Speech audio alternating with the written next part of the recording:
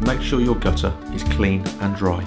Refer to the manufacturer's installation manual for bonding to different substrates. If necessary, install a plyboard in the base of the gutter if the gutter is badly corroded. Stir the FG35 primer. Apply a thin coat of the FG35 primer using a medium pile paint roller Ensure the FG35 primer is dry to the touch. This normally takes around 30 minutes.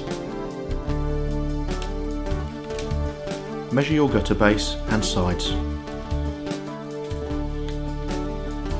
Copy the dimensions onto the release paper on the reverse side of the gutter lining. Carefully score the release paper with a sharp knife ensuring that the gutter lining is not cut. Position the rubber membrane in the gutter allowing sufficient membrane to form the stop ends. Peel off the first section of release paper from one of the gutter sides, not the base fold the membrane back on itself to expose the second section of release paper to be removed for the base. Remove the release paper from the base of the gutter lining and smooth the self-adhesive lining onto the gutter base.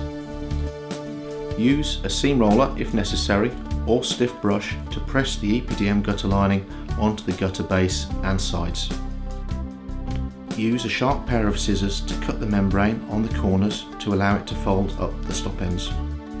Remove the centre section of the stop end release paper. Form the stop end pleats or pig's ears.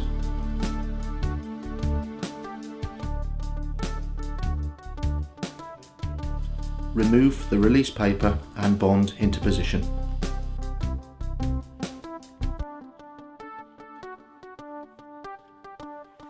Trim any excess membrane prior to installing trims or lead flashing on brickwork. Heat weld patches where the membrane has been cut, a minimum 50mm overlap is required for heat welding. An additional section of membrane can be heat welded into position to cover any pleats on the stop end if necessary. Wherever Rubber membrane is to be bonded to rubber membrane. This should be heat welded and not stuck with FG35 primer. Heat weld EPDM laps where necessary. Fit your chosen edge trim system